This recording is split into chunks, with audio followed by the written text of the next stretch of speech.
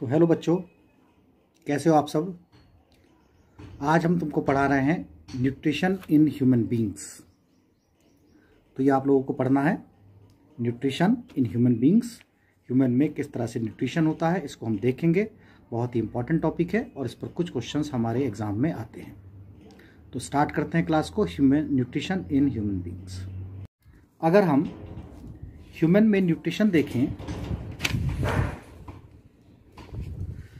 तो ह्यूमन में न्यूट्रिशन के फाइव पार्ट्स हैं। पाँच तरह से ह्यूमन में न्यूट्रिशन होगा। फ़र्स्ट पार्ट कहलाता है इंजेशन लिखते रहेंगे सब लोग साथ साथ। सेकंड पार्ट कहलाता है डाइजेशन तो ये हमारा आज का टॉपिक है। न्यूट्रिशन इन ह्यूमन बींग्स किस तरह से ह्यूमन में न्यूट्रिशन होता है? अगर हम डिफरेंट स्टेप देखें different steps in the nutrition different steps ये सब लोग लिखेंगे मेरे साथ साथ इन न्यूट्रिशन कौन कौन से डिफरेंट स्टेप होते हैं ह्यूमन में न्यूट्रिशन के? तो पहला स्टेप होगा इंजेशन याद करेंगे सब लोग? दूसरा स्टेप होगा डाइजेशन तीसरा स्टेप होगा A B S O R absorption तीसरा स्टेप होगा एब्जॉर्प्शन चौथा स्टेप होगा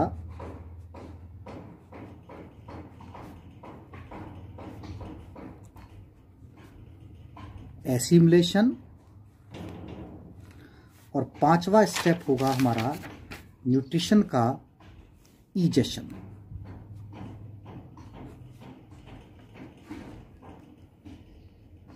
तो ये पाँच स्टेप होते हैं ह्यूमन में। डाइजेशन के, याद रखना है, हम पढ़ रहे हैं nutrition in human beings. Different steps अगर हम न्यूट्रिशन के देखें, डिफरेंट स्टेप्स इन न्यूट्रिशन तो पहला स्टेप है इंजेशन।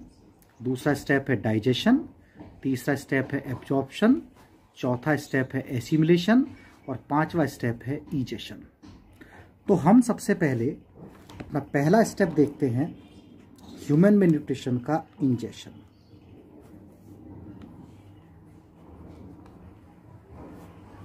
जो पहला स्टेप है इंजेशन कि किस तरह से ह्यूमन में इंजेशन होता है। तो ये हम पढ़ेंगे बिल्कुल ढंग से इंजेक्शन वाला प्रोसेस कि किस तरह से ह्यूमन में इंजेक्शन होगा।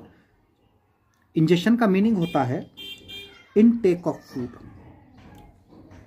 और इनटेक ऑफ़ फ़ूड के लिए एक स्पेशल ऑर्गन है हमारे पास में, जिसको हम कहते हैं माउथ यानी कि intake of food intake of food in mouth is called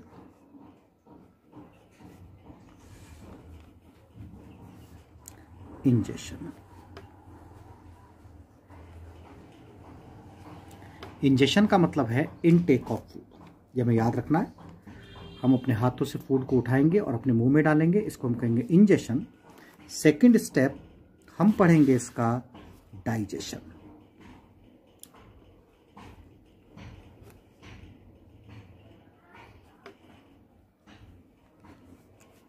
कि डाइजेशन कैसे होता है? तो अगर हम डाइजेशन की बात करें तो डाइजेशन स्टार्ट होगा माउथ से। It start from mouth and teeth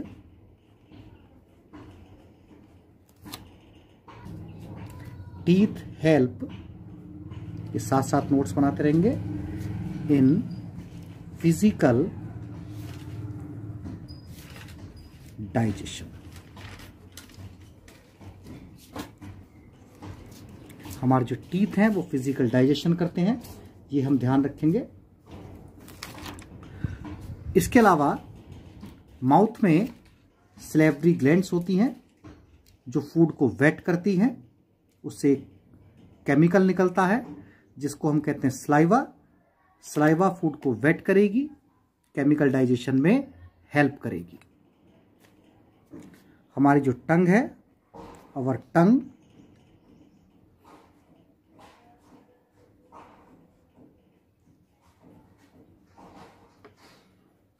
help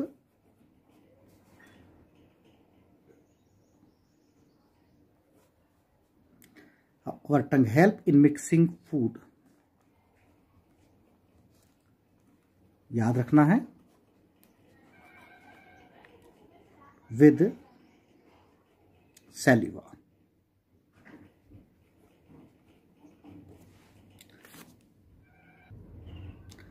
अगर हम बात करें सलाइवा की डाइजेशन हमारा it start from mouth mouth से स्टार्ट होगा and teeth help in physical digestion teeth हमारा फ़िज़िकल डाइजेशन करेंगे।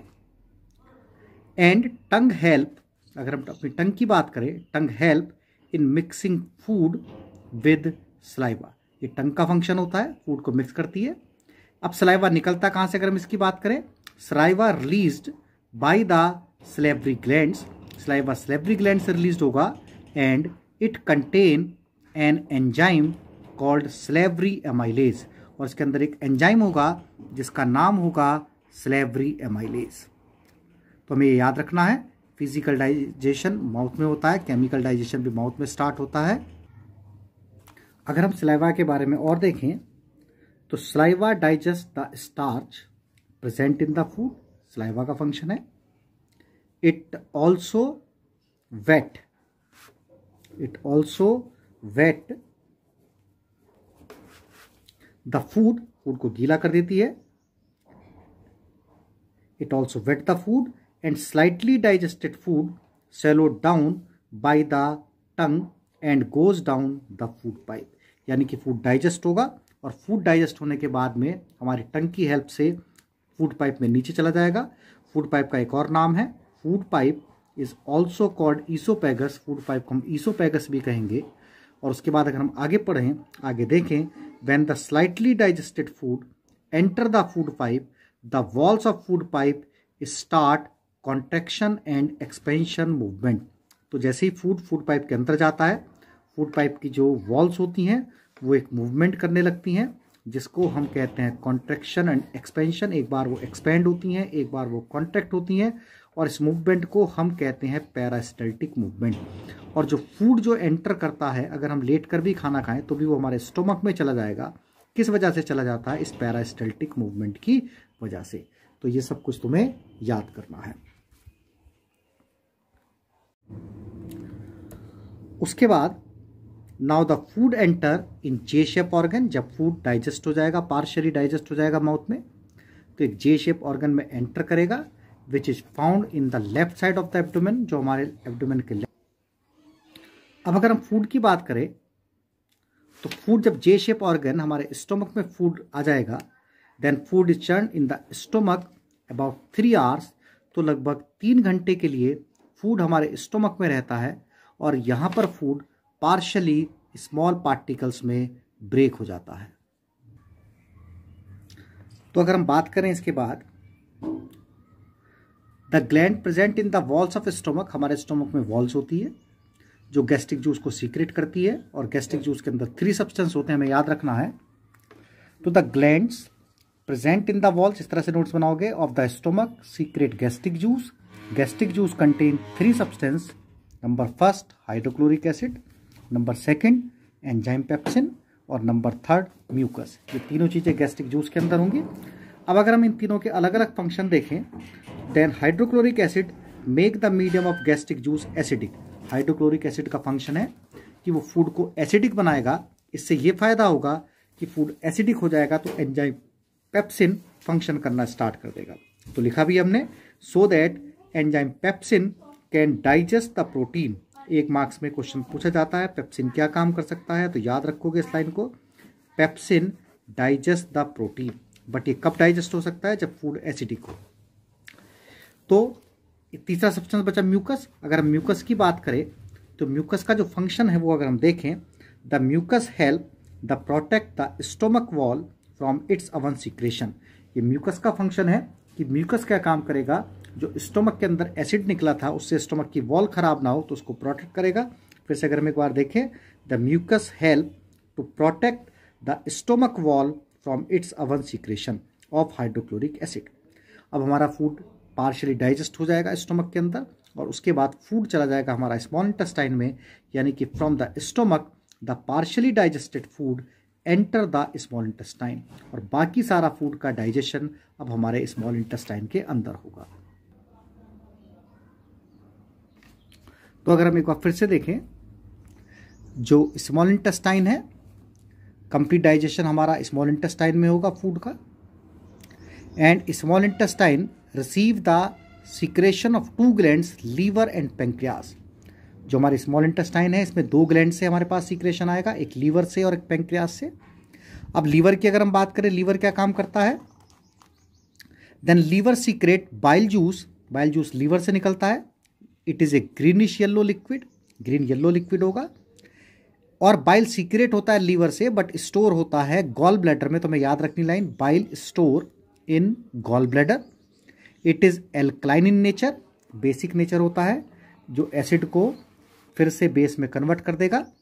It break the fat present in the food food के अंदर जो भी फैट होता है, ये उसको ब्रेक कर देता है। And so it has two function इस तरह से बाइल जूस के दो फ़ंक्शन है.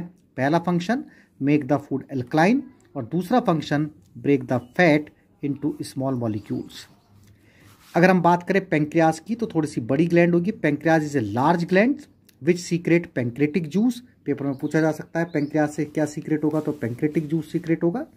और अगर आप पेंक्रियाज की बात करें तो pancreas is a large gland secrete the pancreatic juice and pancreatic juice contain digestive enzyme like pancreatic amylase नाम याद रखने हैं, तीन जूस होते हैं ट्रिप्सिन एंजाइम और लाइपेज एंजाइम अगर बात करें enzyme amylase break down the starch याद रखना है तुमको and enzyme trypsin digest the food और अगर हम बात करें एंजाइम लाइपेज की enzyme lipase break the fat तो ये तीनों एंजाइम के फ़ंक्शन है, जो हमें अच्छे से बिल्कुल याद रखने हैं। तो अब हमारा जब फ़ूड स्मॉल इंटेस्टाइन में डाइजेस्ट हो जाता है, उसके बाद हमारा जो नेक्स्ट स्टेप आता है, उसको हम कहते हैं एब्जॉर्प्शन एब्जॉर्प्शन में जो डाइजेस्टेड फ़ूड है, वो स्मॉल इंटेस्टाइन में एक विली जैसी स्ट्रक्चर होती है फिंगर लाइक स्ट्रक्चर होती है. उस विली जैसी स्ट्रक्चर से जो उसका सरफेस एरिया बढ़ा देगी एब्जॉर्व हो जाएगा. तो अगर हमें लिखना हो नोट्स बनाने हो तो हम ऐसे लिखेंगे. After digestion food become much smaller and it can pass through the walls of small intestine and the inner surface of small intestine has millions of tiny finger like projection called villi क्या कहेंगे इन projection को? हम Willie कहते हैं finger जैसी structure होती है। And villi make the inner surface area of the intestine large and it also help absorption of the digested food तो अगर एसिमुलेशन के नोट्स बनाने हो एसिमुलेशन में लिखना हो तो इस तरह से हम एसिमुलेशन में लिख सकते हैं। इसको आप सब लोग अपनी कॉपी में लिखेंगे। और उसके बाद अब हमारा नेक्स्ट स्टेप स्टार्ट होता है, जिसको हम कहते हैं एसिमुलेशन तो हम एसिमुलेशन के बारे में पढ़ेंगे। तो नेक्स्ट स्टेप जो हमारा स्टार्ट होता है, उसको हम एसिमुलेशन कहते हैं। एसिमुलेशन वो स्टेप है, जिसमें डाइजेस्टेड फ़ूड ब्लड के थ्रू हमारे बॉडी शेल में चला जाता है। और यह बॉडी शेल के माइट्रोकॉन्डिया में हमें एनर्जी प्रोवाइड करता है, जिससे हम जीवित रहते हैं। तो अगर हम एसिमुलेशन को लिखें तो इस तरह से लिखा जाएगा the blood carries digested food to all the parts of the body where it is use by the body cell and provide energy तो एसिमुलेशन के लिए इतना लिखना है हमको। एसिमुलेशन हमारा कंप्लीट हो जाएगा। उसके बाद लास्ट स्टेप हमारा कहलाएगा इजेशन